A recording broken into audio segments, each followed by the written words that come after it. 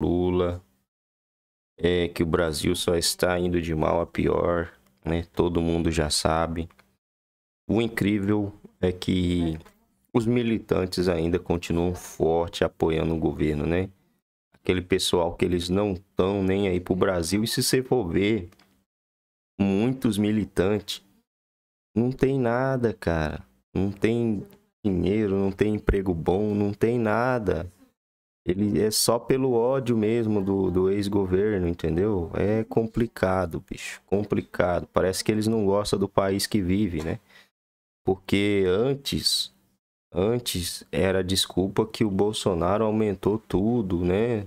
Ah, tá tudo caro. Cara, aumentou mais, velho. Aumentou mais e ninguém tá reclamando. Não tô vendo os petistas que ganham aí mil, dois mil, três mil reais reclamando do preço das coisas, né? Será que agora o amor ajuda? Será que tem eu, algo que eu desconheço?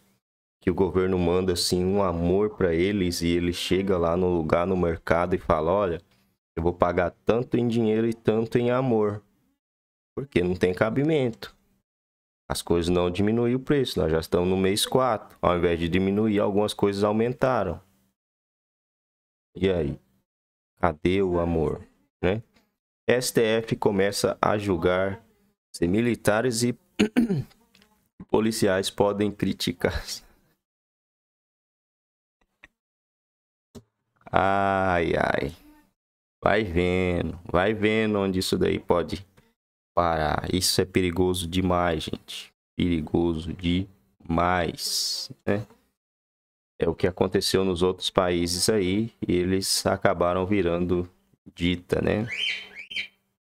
Mas vamos torcer aí para que os parlamentares, senadores, é, não deixem que isso aconteça com o Brasil, porque agora o poder está na, nas mãos deles, né?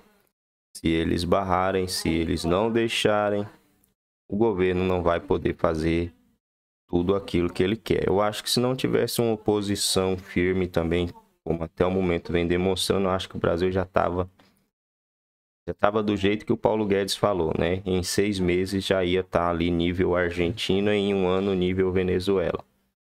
Mas vamos esperar, vamos esperar essa CPMI se ela vai mesmo sair ou não, que o governo está tentando de todas as formas, de todas as maneiras barrar, né, cara?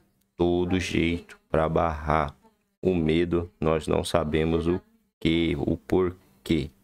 Vou ficando por aqui, fiquem todos com Deus e até o próximo vídeo.